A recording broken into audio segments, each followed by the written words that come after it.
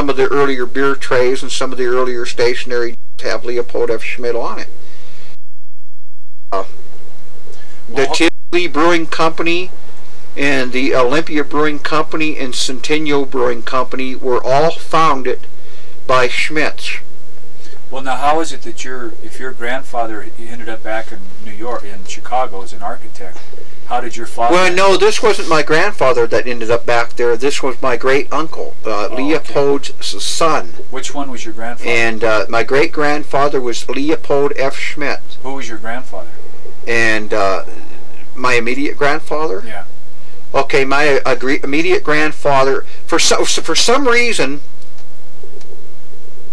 to my knowledge, my immediate grandparents came from Germany, migrated from Germany, and most of them during the war.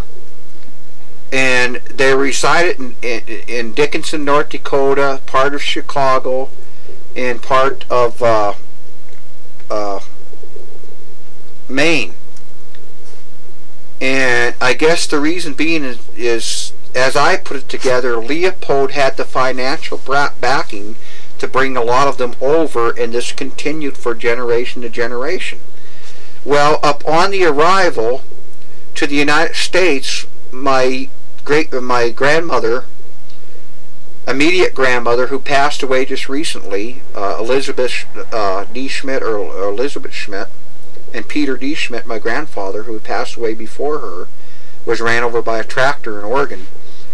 Uh, they resided in Dickinson, North Dakota.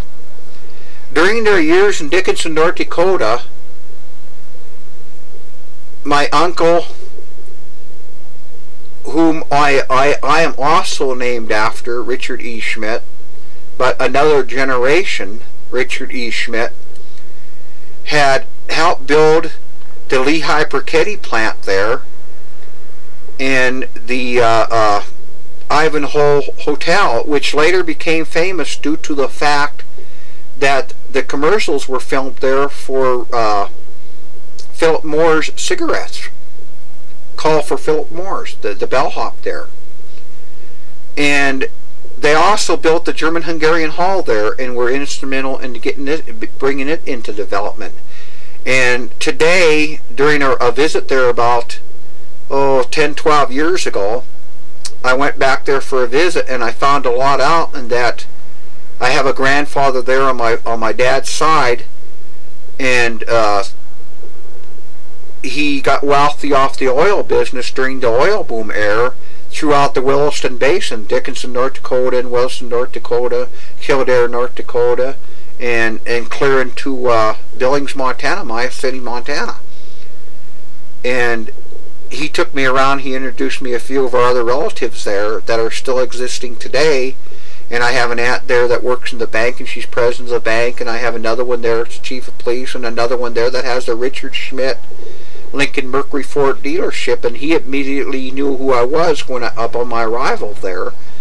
And he lent me a car that was necessary for me to get around that area from the dealership there. And uh, he let me use it to run around and looking for a job because it, it, uh, I wanted to work in the oil fields there, and I later got a job working for a, a trucking company called Mat- Matador Fuel Services, which hired mud in, for in water for capping wells, and then I, I got a job for a while seismographing, and then I came back to Butte, Montana, and that's a story in itself because I always come back to Butte, Montana.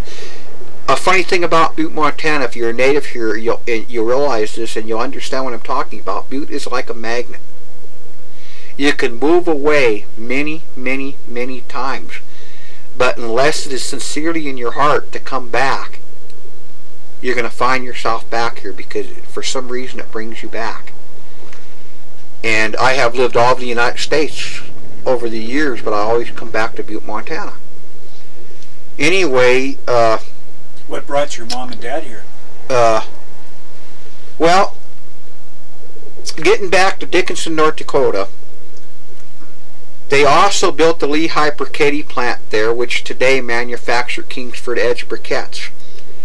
Then, for whatever reason, during the Dust Bowl years, I guess the government had a thing that if you were a farmer, they'd relocate you either in Oregon or California. They'd give you money to relocate.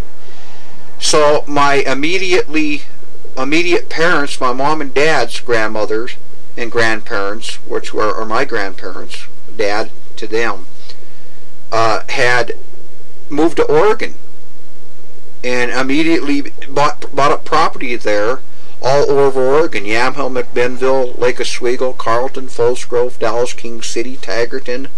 And it turned out that my uncle had built a place there called King City or was instrumental in its development. And he is a, an architect. And I have an uncle there that also works in the police force there outside of Forest Grove. And then uh, my grandparents start buying up property there and putting up uh, uh, hotels and, and, little apartments and stuff, and then had a, a, farm there. And it turned out that my grandfather was ran over by a tractor, and this tore him up on his shoulder and hit part of his stomach, and he died a few years later. And then grandma just recently died four years ago. She was 102 years old. And my dad, my immediately dad, Ernest Nick Schmidt, for whatever reasons, did not like North Dakota. So I, I don't know yet if he had left the family from North Dakota or if he had left from Oregon to come to Butte. But anyway, he wind up here in Butte, and he worked in the mines for 38 years. And what year did he get here? Uh, I believe he came here in the year. Well, there's a picture right above of him right above your head there. If you'd hand it to me. And the first mine that he worked here in Butte is at the Badger State Mine. And as, as I know it, he came to Butte when he was 17 years old, and this picture, picture right here is with a rock drill known as a Widowmaker down in the Badger State Mine when he was 17 or 18 years old, and I believe this one right here was taken at high ore. But I, I'm not sure. But anyway, uh, he came to Butte here to work in the mines, and he was a miner on and off basically all his life up until the years that we moved to Oregon in 69 and came back in 72. And there was a break in his sonority. How he started working down here on the, the hill down here where uh, with he caught diabetes and he passed away of diabetes. But my mother preceded him in death. My mother also died of diabetes. Was your mother Hungarian German? Uh, my family is basically German-Hungarian, yes. And uh, my name is German, and although I'm I'm German Hungarian uh, Hungarian descent descendants.